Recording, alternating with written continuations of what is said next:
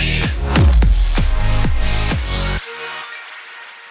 Rushers! Sejam todos muitíssimamente bem-vindos a mais um vídeo no canal Brush Rush. O meu nome é Guilherme Freitas e hoje você vai acompanhar também o processo acelerado de criação deste cara aqui, que é o Clayton Mãos de Bebê, um personagem criado pelo maravilhoso Doug Lira. Depois que eu fiz ali o retrato dele, eu falei, vou fazer alguma outra coisa, e eu, e o Doug tinha terminado há pouco tempo esse personagem, eu falei, eu vou tentar adaptar isso pro 3D. E eu gostei do desafio, porque, repara bem, ó, esse rosto aqui, ele, apesar de dar várias informações de uh, topologia pra gente, ele ainda é bem estilizado. Então você pode ver que o sorriso dele se mantém aqui nessa posição, mesmo com o rosto tendo volumes diferentes acontecendo nessa extremidade, né? Então, para adaptar isso para o 3D, você tem que sacrificar algumas coisas. Às vezes eu vejo que tem gente que tem problema na hora de fazer uma pintura mais fiel, mais realista, mais uh, certinha, aquela bem uh, ah, 3D, porque parte do design não está adequando uma topologia mais realista, porque veja só, eu tenho que adaptar muito para ter essa boca acontecendo aqui e ainda tentar ter um pouco desse shape, né? Você pode ver que eu, eu tentei favorecer uma, uma linguagem acontecendo mais ou menos por aqui, então eu acabo perdendo um pouco desse shape. Eu vou retomar isso depois, quando eu juntar todas essas partes diferentes aqui desse, desse personagem e transformar tudo isso em um único bloco, né? E aí eu vou esculpir por cima disso. Esse processo eu acabei fazendo ao vivo numa live lá no canal da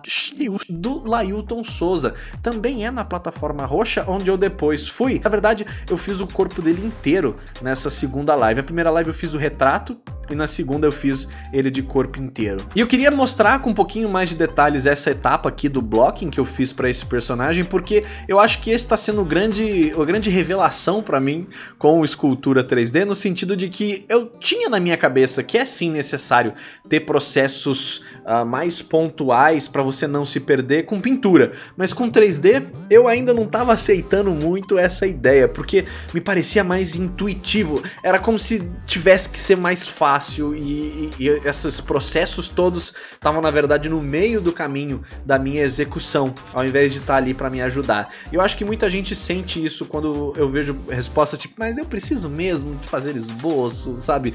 E aí você vê por, por, por, que, que a pessoa pergunta isso, né? Porque ela, ela imagina que isso é um empecilho para ela conseguir chegar onde ela tá querendo, mas a ideia é ver como que isso pode te ajudar, é isso que é o interessante. Mas vamos continuar este papo aqui com o processo acelerado já rolando aqui no fundo, você pode ver que o, retrato dele já tá mais ou menos pronto, eu vou fazer o cabelinho e depois a gente vai partir para construir o corpo do Clayton Mãos de Bebê. A última parte que foi a mais difícil foi justamente a, a fazer uma mão para ele, Desenhar mão é, é chato. Esculpir mão é, é mais chato, eu, eu achei. Mas deu tudo certo e você vai conferir no final. Mas o que eu queria compartilhar com vocês aqui é uma reflexão que me aconteceu quando eu tava assistindo uma luta de MMA no YouTube. É, o que, que aconteceu nessa luta? Teve uma cena um tanto quanto dramática, cuidado com o Guilherme acelerado. Deixa eu vir mais pra cá. o, o lutador estava ali quase conseguindo as costas do seu oponente. E essa é uma posição de muita vantagem estratégica ali na hora de aplicar um estrangulamento ou algum outro tipo de coisa. O que que acontece? Neste momento ele tem uma ideia. Eu vou fazer algo melhor do que tomar as costas de meu oponente. Eu vou virar, eu vou desvirar ele do avesso aqui. Eu tô aqui em cima dele, eu vou desvirar ele do avesso com uma cambalhota maluca. Ele tenta esse movimento, mas ele não consegue. A única coisa que ele faz é cair de costas no chão e logo após tomar vários, vários, vários socos na cara. Foi mais ou menos isso que aconteceu. Guilherme, por que você está dizendo isso? Ora, porque até mesmo os comentaristas não conseguiam entender que estratégia era aquela, que, que, que manobra era aquela, que, que técnica, o que, que era aquilo. Ninguém entendeu, não tinha nome para isso, ninguém nunca ouviu falar. E deu a impressão mesmo que ele inventou. Ele naquele momento imaginou, né, vislumbrou que estava produzindo uma incrível nova técnica para ganhar uma luta, que não deu muito certo, né? E eu acho que isso foi algo que eu acabei ouvindo algumas vezes quando eu ouvi esses comentários de lutas, é que você não vai conseguir aprender muitas coisas novas naquele ambiente. Você vai conseguir aplicar o que você treinou antes mas você não vai revolucionar os seus vícios, você não vai mudar os seus padrões, você não vai transformar a sua forma de executar as coisas na luta. Vai ser nos meses de treinamento que antecedem aquele momento. Porque, ao que parece, quando você tenta inventar na hora, a coisa talvez não funcione. Quando você está no desenho, qual que é o risco que você enfrenta? Talvez se frustrar um pouco, gastar algumas horas em algo não muito prático. Quando você está numa luta, é bom, né? Outra, outra coisa está em, em jogo. Então é por isso que existe sim uma importância em tentar desenvolver algum tipo de metodologia para aquilo que você está fazendo. Eu acabei fazendo muito isso mais para tentar ensinar vocês a, a, resolver algumas coisas, como por exemplo a estrutura do rosto humano e tudo mais, mas eu vi que eu aprendi muito tentando encontrar uma série de etapas para fazer as coisas acontecerem. E isso realmente tem vários efeitos positivos. O primeiro deles é que ele te tranquiliza com relação àquela ansiedade de chegar no final do processo e as coisas estarem como você gostaria essa ansiedade que muita gente me, me diz que sente quando senta para desenhar. A primeira delas é essa vontade de, de fazer tudo perfeito. Mas a segunda é um pouco sintoma de que você não tá 100% confiante com em como você vai fazer para conseguir uh, o resultado que você quer. Eu acho que tanto no desenho quanto no 3D quanto qualquer outra coisa, você provavelmente não vai encontrar uma fórmula revolucionária de resolver um problema que você não treinou, que você não praticou, que você não consolidou em meses antes para na hora de dar certo. Eu acho que essa é a importância do estudo e do treino que às vezes passa por cima da cabeça das pessoas pintar, desenhar e fazer as coisas não é só produzir, não é só se colocar no dentro do ringue ali contra o papel e, e, ver se vai dar certo, né? Você se prepara antes como qualquer outra atividade, como se fosse uma, como se fosse uma luta. Então o treino é um ambiente seguro onde você pode errar, onde você pode se frustrar, onde você pode fazer e não dar certo e as coisas não serem ah, ah, tão diretas quanto deveriam. Hoje eu sinto que tenho uma, uma metodologia mais funcional na hora de fazer escultura low poly, mas eu ainda tô desenvolvendo uma fórmula para produzir personagens com uma estratégia de escultura mais solta dentro do Blender, como está acontecendo aqui mas se eu tenho alguma estrutura para fazer, para começar a estudar e, e, refinar esse meu processo, é por causa do curso do Sebastião também, que está chegando aí, vocês sabem. Era para ter lançado na sexta-feira, mas a Udemy deu uma segurada aí na aprovação do lançamento. Assim que aprovado, nessa semana provavelmente, é o que vai acontecer, você vai receber esse cupom se você reservar o link aqui na descrição para ganhar 50% de desconto. Então, fica ligado porque me ajudou muito a chegar nesse ponto aqui. Esse ponto é o ponto onde eu tô entendendo essas etapas, né? Eu dei uma conferida rápida no conteúdo, eu dei uma olhada muito boa nas aulas que passam ali os fundamentos desse processo, mas eu tenho certeza que eu preciso repetir várias vezes e com certeza assistir mais a fundo todos os conteúdos ali para conseguir pegar na minúcia tudo aquilo que importa e que eu ainda não faço, porque o que eu tô vendo hoje é que eu dou um jeito mas não é um processo livre de problemas. Não que o 3D seja sempre livre de problemas, né? Acho que o 3D é um grande problema que você tem que fazer, às vezes. Mas no sentido de que muitas vezes eu tô inventando na hora. Eu não tô fazendo algo que eu já sei que funciona. Eu não tô aplicando uma técnica que eu já treinei. Eu não tô usando um passo a passo de algo que eu já conheço. Eu tô inventando na hora.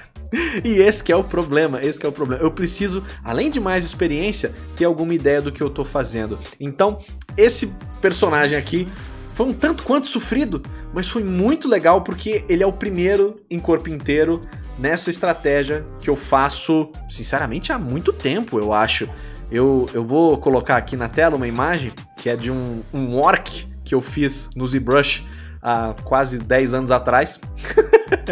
onde eu lutei com as mesmas questões de como construir um corpinho inteiro e conseguir aplicar design nisso de uma forma interessante. Eu tenho certeza que hoje essa noção de blocagem vai avançar demais todo o meu processo daqui para frente. Eu quero ver depois outras etapas para fazer uma retopologia, botar isso daí para numa pose mais interessante, talvez uma animaçãozinha, quem sabe. Mas o que eu tô querendo neste momento resolver é me encontrar em um workflow mais tranquilo, mais direto, mais, mais fluido para as fluir workflow, é, né? Onde as coisas fluem de uma forma um pouquinho melhor. É isso que eu estou descobrindo agora com o 3D, redescobrindo, né? Com uma outra estratégia, com outro jeito de fazer as coisas. E acho que isso é muito importante, né? Tem horas que não é sobre ser bom, não é sobre ter noção do que está fazendo, sobre é sobre treinar o suficiente um processo, aquelas ferramentas e tudo aquilo que está acontecendo. Eu aqui Tô dando meu jeito para fazer esse personagem, mas eu quero muito continuar produzindo personagens em 3D no Blender dessa maneira aqui, pra gente ir evoluindo cada vez mais juntos e poder mostrar para vocês, se tudo der certo, com mais facilidade personagens 3D completos assim, com essa estratégia e com esse tipo de finalização, porque é muito mais gostoso esculpir desse jeito do que vértice a vértice. E eu sinto que eu chego numa noção de design muito mais rápido do que tentando fazer com topologia correta desde o começo. Mais tarde isso vai integrar uma revolução na forma como eu faço tudo que eu mexo né, dentro do 3D. E eu acho que isso é muito legal. A ideia de que você está construindo em etapas o seu conhecimento também é algo importante que você não deve se afastar, viu? Por mais que seja um pouco frustrante, porque se você está aprendendo só uma etapa, significa que você ainda não tem aquilo que você queria, não tem aquilo que valeria a pena. E para mim, o boneco tem que estar tá andando, velho, sabe? e esse processo aqui, ele ainda precisa de outras correções para a gente colocar ele para se mexer, né? Correções e etapas que tem no primeiro curso de introdução ao Blender que a gente fez. Eu quero mais fazer esse vídeo também para anunciar o curso novamente, mas principalmente porque eu tô, eu tô de novo com aquele fogo, com aquele fogo aceso, e eu quero fazer em breve o Pikachu. O Pikachu vai ser o desafio, o desafio da vez. Mas vai dar certo. Tá vendo esse pé aí, ó? Eu, eu modelei esse pé tão rápido assim por quê? Porque eu já fiz um monte de pezinhos é, com escultura desse jeito aí, de, de, de vértice a vértice. E aí, meus amigos, aqui em diante é o punho, é o punho 3D. O que, que acontece? Eu tô acostumado à escultura poligonal, né? E a fazer mãos abertas. E depois fechá-las, né? Os dedinhos separados e tudo mais. Então aqui eu queria esculpir uma mão fechada. E você vai ver que eu sofro um pouco, mas eu por sorte tinha duas boas referências aqui comigo e elas foram essenciais para cumprir este negócio aí. Bom, se você tava nessa live, você viu um pouco da frustração na minha cara. Deixa eu ver se você consegue ver a frustração no meu rosto. Pode não parecer, mas essa é a face de um homem. Em muito sofrimento. Eu, eu fui e voltei um pouco, eu, eu tava sentindo que eu, eu tava conseguindo construir o shape, mas ele não tava do jeito que eu queria. Mas deu certo, a gente conseguiu fazer aqui uma mãozinha que eu considerei suficiente. Ficou mais ou menos desse jeito aí que vocês estão vendo. E aí eu só coloquei ela da cor adequada, vermelhinho ali, da cor da tom do pele dele, e posicionei este bracinho no seu lugar verdadeiro, as mãos de bebê. De Clayton, mãos de bebê. Depois eu só brinquei com as iluminações para ver ele daí. Mas é tão poderoso ver um personagem surgindo de forma tão rápida assim, porque é, é, algo, é algo que foi difícil para mim com essa escultura poligonal, no sentido de que é, é, é, um processo que ele leva mais funcionalidade e menos design em prioridade. E aqui a prioridade é toda no design, toda no formato do personagem. E eu senti que eu gostei demais, eu gostei demais de fazer isso. E eu quero com certeza aplicar outras vezes para ir acelerando esse meu processo. Se hoje eu tenho alguma competência com uh, escultura 3D poligonal é porque eu fiz um monte e é isso que estava faltando. Então, de novo aqui, dicas que são dadas em outros vídeos e que voltam sempre porque elas continuam verdade, né? O, o vídeo é novo, mas a, a, dica meio que é a mesma. Então, pessoal, assim ficou o nosso Clayton Mãos de Bebê.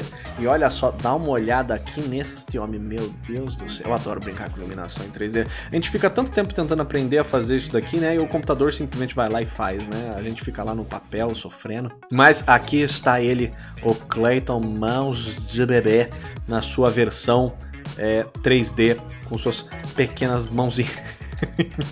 e eu tô assim feliz demais com esse processo, com a robustez que eu consegui no personagem. Eu acho que ele tem muita coisa aqui funcionando. Eu tô louco para avançar para outras etapas, mas eu quero, eu quero uma impressora agora. Eu quero uma impressora 3D. Eu quero isso na minha mão assim, pá. Mas é isso daí, pessoal. Fica aqui a dica, então, de que o seu workflow, o seu processo de trabalho, você tem que trabalhar nele de forma verdadeira, sincera, estudiosa, mas você também tem que lembrar que é treinando que você vai consolidar e conquistar essa velocidade, esse ritmo, essa fluidez na hora de executar um trabalho. E isso vai tirar parte daquela ansiedade dos improvisos do momento. Então, tal qual o lutador que teve o seu rosto a, a, ferido por diversos golpes porque tentou inventar uma técnica no meio de uma luta, é, também te, né, priorize essa construção com vários treinos, com várias. É por isso que a repetição importa. Ela vai te acelerar. E aí, meu amigo, aí não há quem te segure. Beleza? Então é isso daí. A gente se vê no próximo, pessoal. Muito obrigado. Valeu e falou!